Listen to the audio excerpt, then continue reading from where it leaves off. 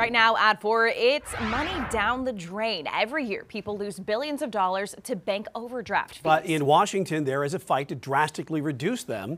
Queen City News Chief Business Correspondent Taylor Young joins us now with this fee fiasco playing out in our nation's capital. All right, Taylor, some banks charge as much as $40 per overdraft, and people are very familiar with that. Yeah, guys, there are some pretty hefty fees out there. And if you have money in the bank, there's a good chance that if your balance dips below zero, you will be hit with a penalty charge. But the Biden administration argues these fees pose an unnecessary burden on consumers, particularly those living paycheck to paycheck. Now, this morning, the Consumer Financial Protection Bureau proposed rules that put a cap on these fees. The Bureau has not said exactly what that cap would be, but is exploring the idea of a $3 charge max.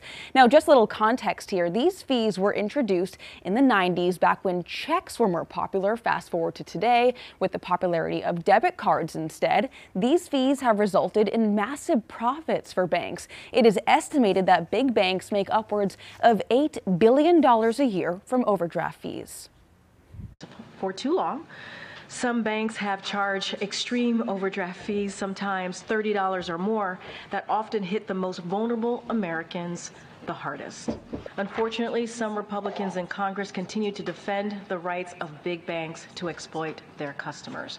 President Biden believes it's wrong that some companies rip off Americans simply because they can.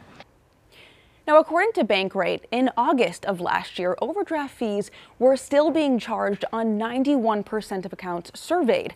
Fees average around $26. Now, I took a look at what some of Charlotte's biggest banks are charging, and here's what I found.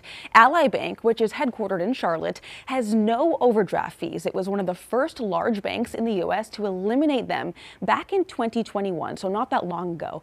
That following year, Truist Bank did the same. It has no overdraft overdraft fees and gives customers 14 days to bring their balance back up into the positives before their account is limited. Bank of America, on the other hand, used to charge $35 per overdraft. It dropped that to $10 back in 2022. Wells Fargo has one of the highest overdraft fees in the Queen City.